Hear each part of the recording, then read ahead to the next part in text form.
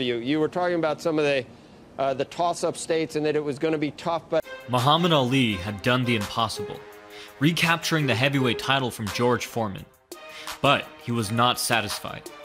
There was one man who'd given him too much trouble, one man who could be pointed to as evidence that perhaps Ali was not the greatest of all time. But, but I think in the backdrop we were thinking about Biden, or he was, he was the presumptive front runner then. I don't know whether it's changed with everything we've seen, all the other stuff in the past two weeks. But how would, would an Elizabeth Warren uh, presidency, what does China think of Elizabeth Warren? And, and what do you think of her chances if, if she did become the nominee? That man was Smokin' Joe Frazier. The two had met twice previously. Their first encounter, the fight of the century, had already become ingrained in American psyche as one of the greatest matches in history.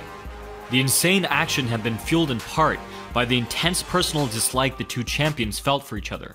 Al What's interesting, you know, she's just coming out with now the series of white papers. She's actually trying to get to the right of President Trump. Lee had so enraged Joe that in his locker room before the fight, Frazier had prayed to God to help him kill Ali. Except for her not fully understanding the tariffs, if you look at Elizabeth Warren, you look at some of the Democrats, they're trying to get to the right of President Trump on. When the fight first began, Ali had seemed capable of handling Frazier easily, proving himself the first opponent with the talent to read Frazier's erratic rhythm the reflexes to spot small openings, and the speed to take advantage of them. But then, Frazier had begun to penetrate Ali's defenses, his erratic bobs and weaves getting past Ali's renowned rapid-fire lead hand. Frazier was soon thumping shots into his rival's body, doubling him over and enticing him to lower his guard. The result was a back-and-forth battle for the ages. But in China, one of the reasons they understand that Biden is compromised by China, they understand in the upper Midwest in these primaries, they've got a real opportunity to blow Joe Biden out of the water. The way Frazier leaped into his lead hook let him rapidly cover an incredible amount of distance. And it was Ali who had tasted the canvas, cementing Frazier's triumph, and destroying any and all doubt about who was the real heavyweight champion of the world.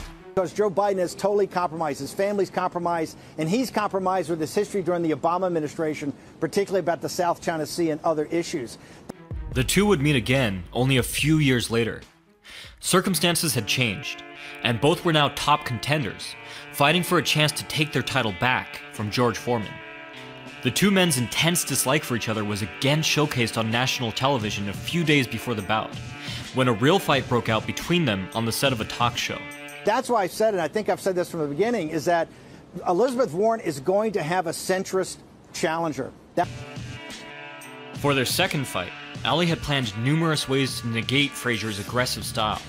He stopped short to lead him into flurries, kept his elbows in tight when clinching so Frazier could not pummel his hands through, and used Frazier's head movement against him, using one punch to lead Frazier into another. That will either be Michael Bloomberg, or I think I said on your show, Hillary Clinton. I think Clinton and Bloomberg are looking as Biden starts to collapse, and I think Biden's collapse is, is pretty intimate. Ali stole the later rounds, turning the fight around and avenging his loss. By November, December, I think you're going to see a centrist challenge Elizabeth Warren, and we'll see how that plays out. But I think. Leading up to the fight, Ali continued his old shenanigans, holding up a gorilla meant to represent Frazier and proclaiming, It'll be a killer, a chiller, a thriller when I get the gorilla in Manila. I think the Democrats in the wanting to replace Donald Trump understand that Elizabeth Warren and some of the populists have been so driven to the left, particularly some of her things about capitalism, some of her things about these asset taxes. As always, Frazier was not amused. To quote the man himself, I still despised him for trying to misrepresent me to the public. No one gave his heart and soul to the sport as I did. This was a nasty, envious, mean-spirited egomaniac who still couldn't stand the fact that in the biggest fight of his life, I'd put him on his ass. No. They've been so driven to the left that a centrist is going to have a real opportunity here. And I, I, I don't discount at all that you may see an Ali Frazier, you know, rematch in Hillary Clinton and Donald Trump. And then it was over. The round ended, and Smokin' Joe Frazier was still standing. Through all the rounds and all the fights, Ali had never once put him down. Barely able to see, the referee guided Frazier back to his corner. As Ali sat down, he had a terrifying realization. He was not sure how much longer he could go on. Of course, he didn't know about Futch's decision. All he knew was that Frazier had taken him to his absolute limit, to a place that he'd never been before, a place he would later call the closest thing to death. In Frazier's corner, coach Eddie Futch, who'd been witness to fighters die in the ring before, had seen enough. I'm going to stop it, Futch told Frazier. You're taking too much punishment. Joe protested. No, don't. I want him, boss. Blind, battered, beaten, Frazier was in no condition to fight. It's all over, son, Futch told him. No one will ever forget what you did here today. And so the greatest fight in boxing history came to a close. Ali could not believe it. He stood and raised his hands in victory. A moment later, he fell to the floor. To quote the man himself, I was so relieved, so tired, and in so much pain that my knees buckled, and I stretched right out where I was, right there in the middle of the ring.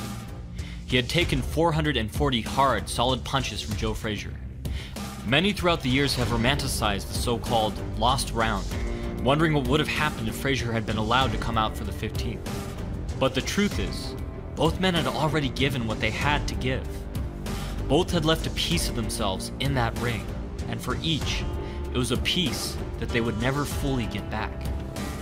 Perhaps Ali said it best. We went to Manila as champions, Joe and me, and we came back as old men.